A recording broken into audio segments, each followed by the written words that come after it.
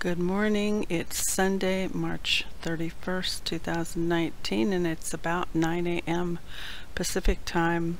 Hope you're doing well. Hope you had a good evening and everything is going well with you. I'm going to start over here in Psalm 119, 49 through 56. Okay? Father, thank you for this time together. Remember the word unto excuse me. Ah. Remember the word unto thy servant upon who which thou hast caused me to hope. I'm a little relaxed this morning, so I hope that's okay with you. Um, this is my comfort in my affliction, for thy word hath quickened me the proud have had me greatly in derision, yet have I not declined from thy law. I remembered thy judgments of old, O Lord, and have comforted myself. Horror hath taken hold upon me because of the wicked that forsake thy law. Thy statutes have been my songs in the night of my pilgrimage.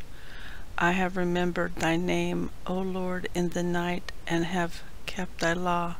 This I had because I kept thy precepts. Lord, we thank you for this day.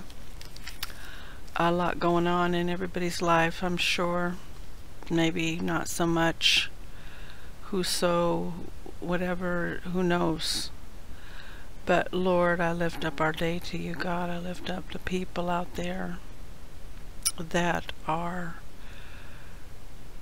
just getting up or just have been up this morning getting ready to go to church, getting ready to go shopping, getting ready to do what they're going to do today. We pray for safety in the name of Jesus.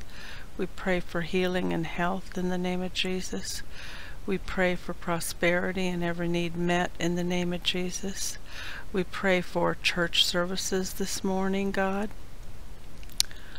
Um, that your people would hear from you today, God. And thank you, Father, for this day. In Jesus' name, amen. Okay, bye-bye.